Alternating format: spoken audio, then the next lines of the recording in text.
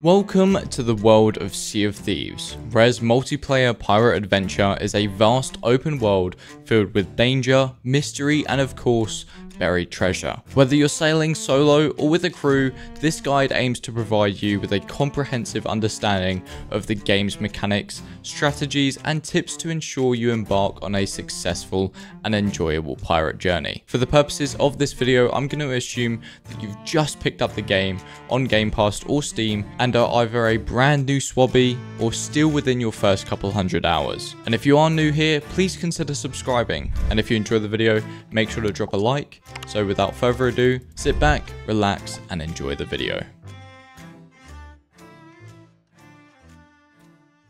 Upon entering the Sea of Thieves, you'll create your pirate. Choose wisely as this decision is permanent unless you pay real money for an appearance changing potion. Remember, your appearance doesn't affect gameplay, so feel free to choose a pirate which you feel is going to best represent your personality. In Sea of Thieves, you can choose between three types of ships. The Nimble Sloop for solo or duo, the Brigantine for crews of three players, and finally, the larger galleon for crews of 4. Select a ship that fits your crew size as they are specifically designed to accommodate these player caps. While each ship has its own benefits and drawbacks, they are all designed so that when sailed with the optimal crew, they balance out during naval combat and navigation. Do not be tempted to solo a galleon just because you feel that it looks cooler than a sloop. You will sink. If you have any questions surrounding the vast world of Sea of Thieves, join me over at twitch.tv slash mystiqux where I stream almost all of the time.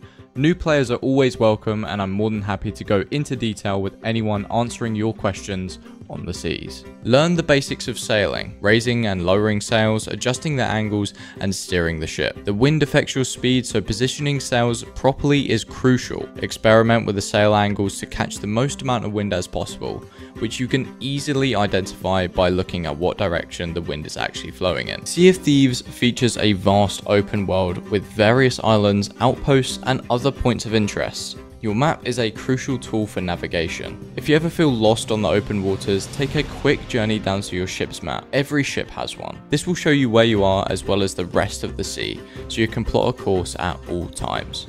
Trading companies offer quests and voyages, providing opportunities to earn gold and reputation. Complete these quests to increase your reputation and unlock more lucrative opportunities. The gold hoarders offer treasure maps leading to buried riches. Dig up chests, discover ancient artifacts, and turn them in for gold and reputation. As you gain reputation, more lucrative and challenging voyages will become available. Undertake missions for the Order of Souls to defeat skeletons and claim their skulls. These mystical artifacts can be turned in for rewards and reputation. As your reputation grows, the Order will entrust you with more formidable challenges. For a more trade-focused approach, the Merchant Alliance tasks you with delivering goods, capturing animals, and transporting valuable cargo. Completing these missions enhances your reputation and unlocks higher paying ventures. For those drawn to a life of piracy, the Reaper's Bones offer rewards for stealing and delivering other players' loot, engaging in intense PvP encounters, seizing opponents' treasures, and establishing yourself as a feared pirate on the seas.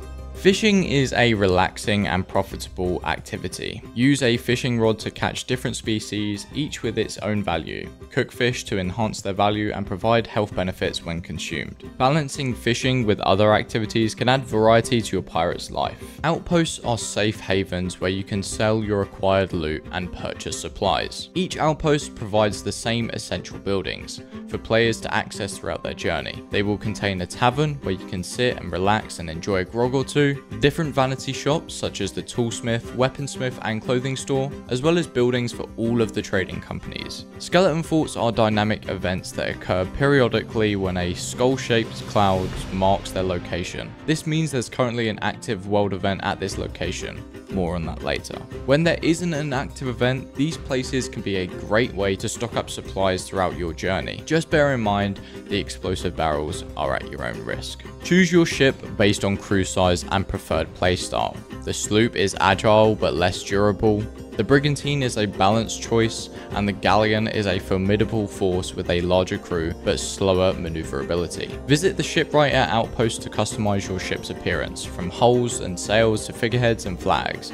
Personalize your vessel to stand out on the seas. Cosmetic upgrades don't affect gameplay but add a unique touch to your pirate persona. Pirates have a variety of tools at their disposal, including the cutlass, pistol, blunderbuss, and sniper rifle. Experiment with different weapon combinations to find your preferred playstyle. Don't forget to gather supplies like cannonballs, wooden planks, and plenty of food for emergencies.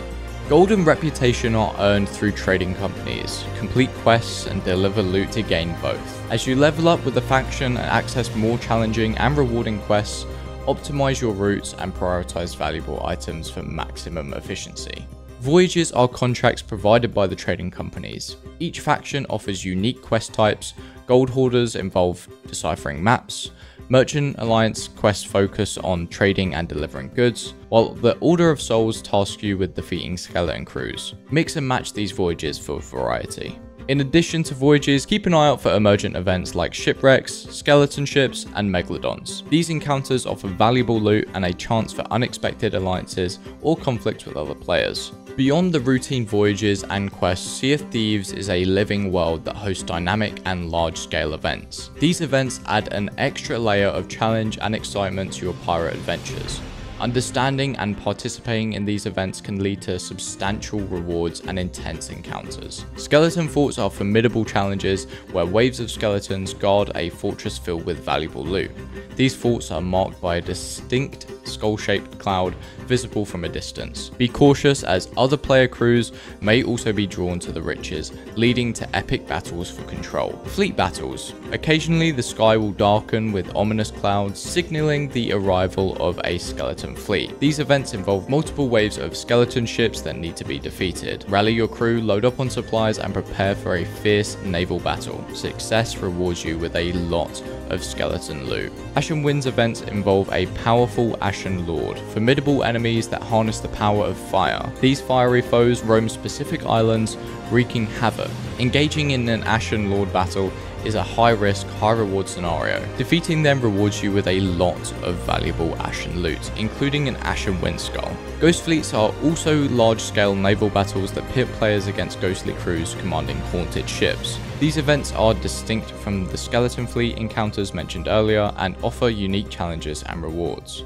The seas are teeming with threats, from hostile skeletons to rival players. Always be vigilant and prepared. Stockpile resources including cannonballs for ship combat, wooden planks for repairs, and food for healing. Keep an eye on the horizon for potential threats and adapt your strategy accordingly. Combat in Sea of Thieves includes both PvE, player versus environment, and PvP, player versus player. Master swordplay, firearms, and the use of equipment like cannons. Engaging with other players can lead to intense ship battles, so be strategic and use your resources wisely. Sea of Thieves has dynamic weather, including storms that can damage your ship and affect visibility. Adjust your sails and steering during storms to maintain control. Watch for environmental hazards like rocks and shallow waters that can damage or strand your ship. Knowing how to repair your ship is crucial. Keep an eye on the hull for leaks, repair holes promptly, and bail water with a bucket.